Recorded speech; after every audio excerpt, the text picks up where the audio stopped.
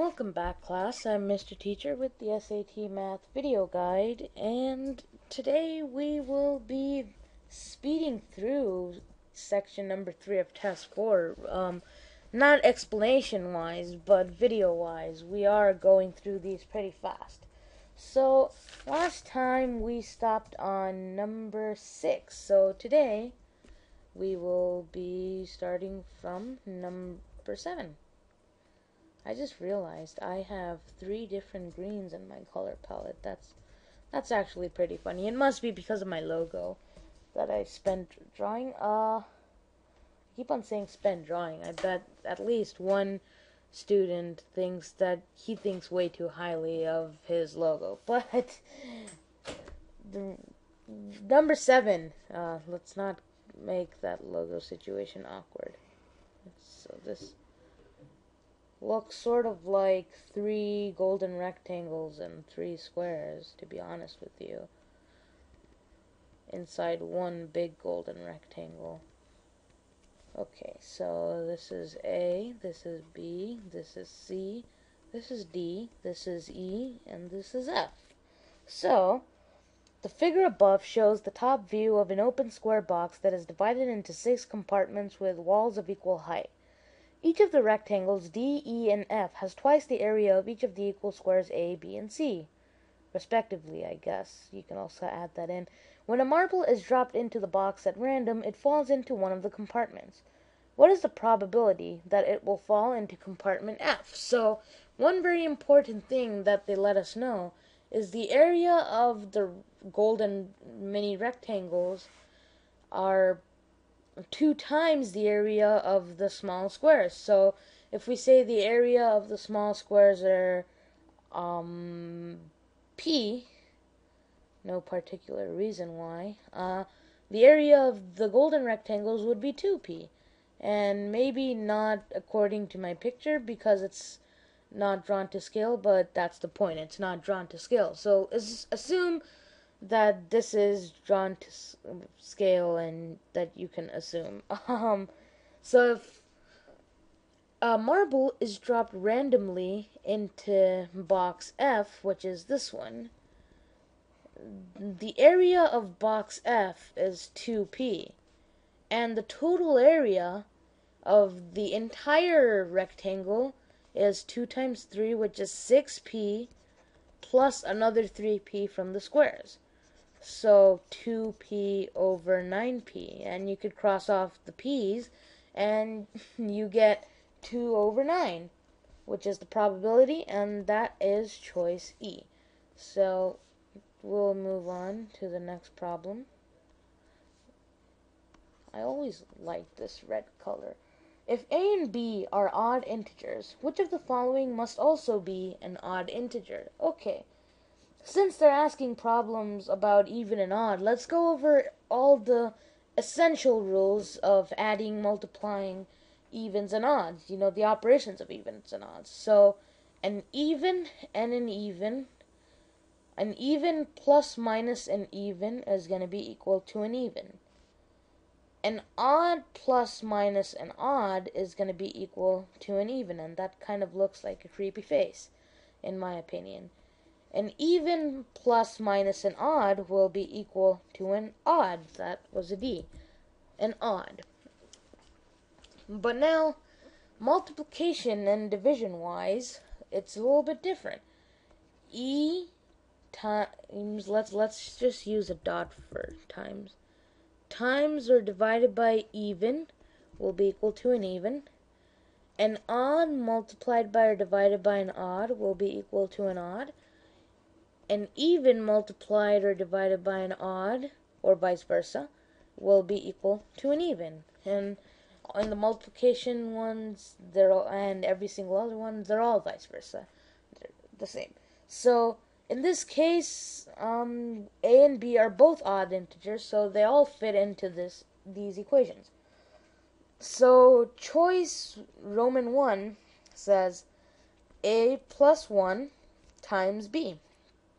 So that's just saying odd plus odd times an odd. Well, odd plus odd is an even, and an even times an odd is still an even. So we know that that must not be an odd integer in any case, so we can cross that off. Choice Roman 2 says a plus 1 plus b. Well, this is odd plus an odd plus an odd. So odd plus odd is even. Odd plus even.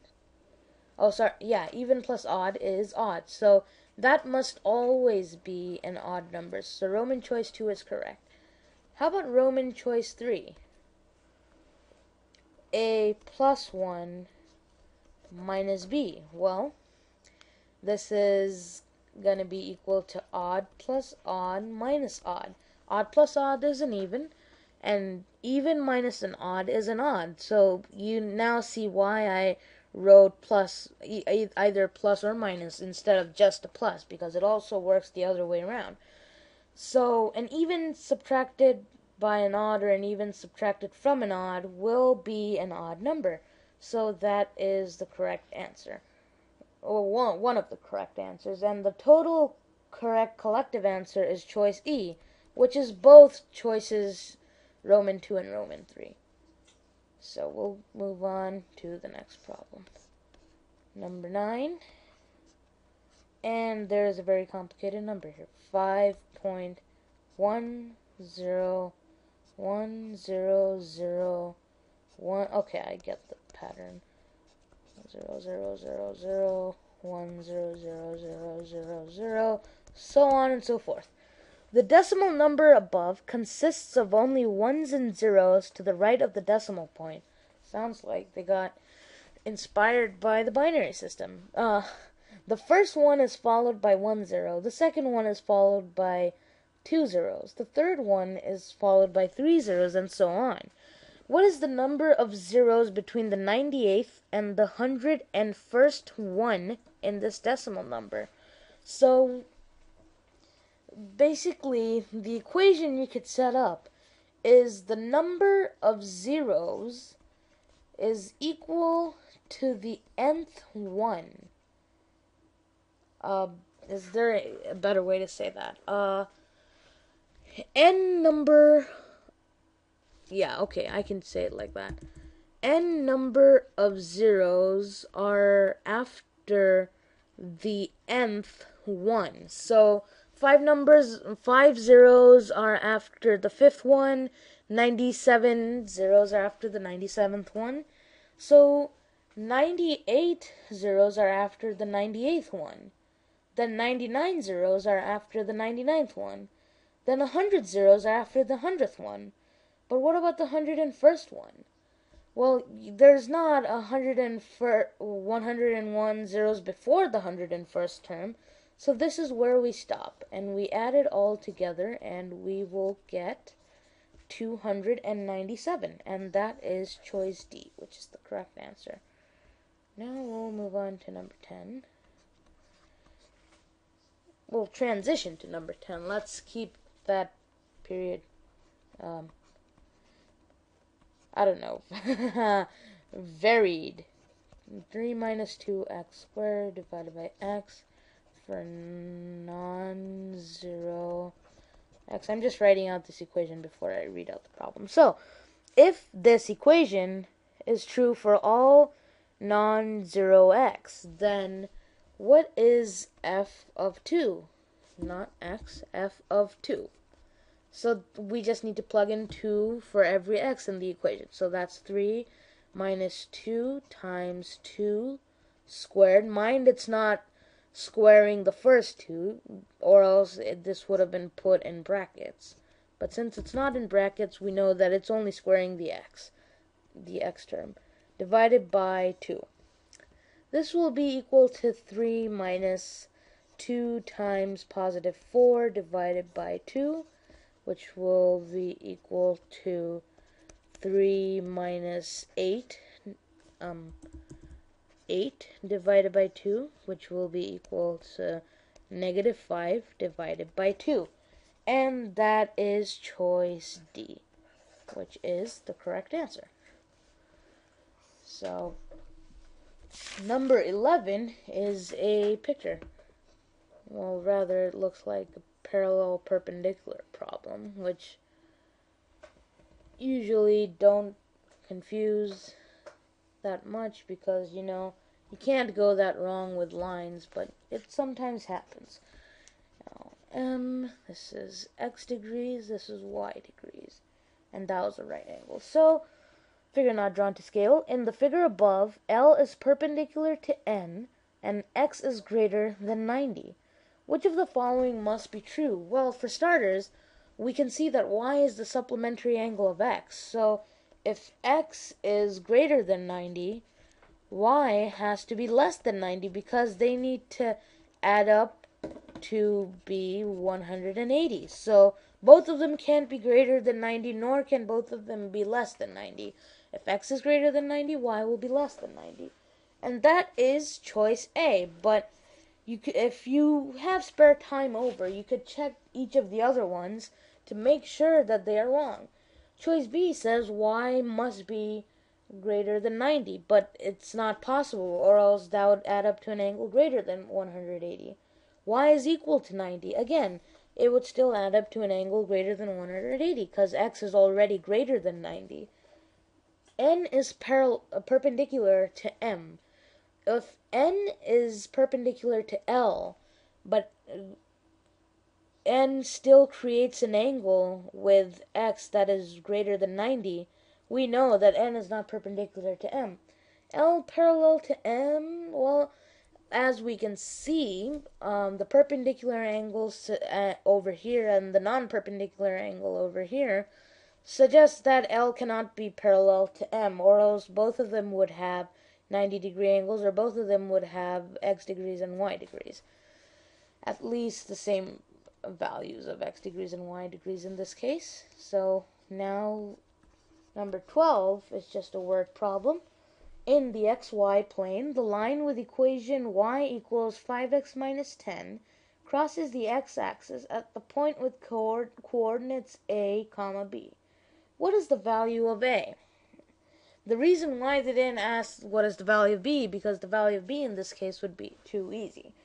I'll, I'm explaining that in a bit. So y equals 5x minus 10. And it crosses the x-axis at, oops, not x comma axis, x-axis at point A, comma B. Well, if it crosses the x-axis, we know that the value of y at that time will be equal to 0 because the x the y value of the entire x-axis is equal to 0. So if we know the y value is 0, we know b is the y value, so really the point is a comma 0. And now we can plug this in into this equation over here. So y equals 5x minus 10. y is equal to 0, so Let's just add the 10 over to the other side. 10 is equal to 5x. And x is equal to 2, which is the correct answer. And that is choice D. And I think we can go over one more problem before I severely run out of time. Number 13. Actually, I've changed my mind. Number 13 has a lot of a huge chart, and although it's not really that tough for you to do this problem within two uh, two minutes. I would have to draw the entire graph. So I'm just gonna leave it right there. I hope this helped you with your SAT preparation, and I will see you in the next video. Keep studying. Till then, lots of important stuff coming.